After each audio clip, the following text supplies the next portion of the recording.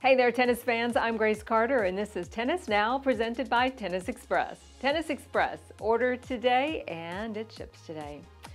We're into the business end of the 2019 U.S. Open, and there is lots of tennis on the horizon to get excited about. But before we go there, let's take a moment to appreciate some of the brilliant moments of Week One in New York.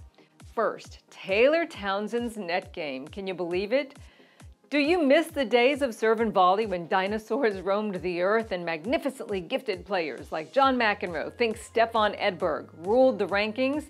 Then look no further than American Taylor Townsend. This 23-year-old stunned Simona Halep in the first round and did it by coming to the net 106 times. That's right, 106 trips to the net in just one tennis match.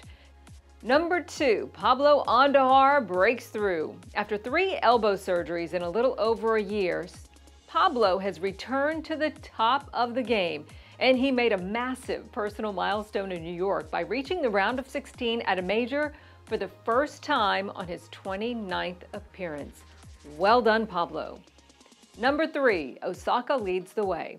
Now, Naomi Osaka didn't pull through her round of 16 encounter with Belinda Bencic, but the Japanese megastar did bring us the emotional high point of week one when she showed maturity beyond her years and a great big heart by asking Coco Gauff to address the Arthur Ashe crowd after she was beaten by Osaka in the third round. What has the experience been like? And tonight playing against one of the very best in the world, number one, Naomi. I mean, it was amazing. I mean, she did amazing, and I'm going to learn a lot from this match. Thank you, Naomi. I don't want people to think that I'm trying to take this moment away from her because she really deserves it, so thank you. Naomi. What a moment. We loved it. Number four, American Kristie Ahn. Now, she didn't make it to the quarterfinals, but she did set an open era record and become one of the most inspirational stories of week one when she won her first match at a major over 11 years after she made her debut in 2008. The gap between her Grand Slam debut and her first win at a major sets an open era record. More important, Ahn's trip to the round of 16 will bring her into the top 100 for the very first time. Number 5. Feliciano Lopez breaks his own record. Lopez is the legend that keeps on ticking. This year at the U.S. Open, Lopez completed his 71st consecutive Grand Slam main draw.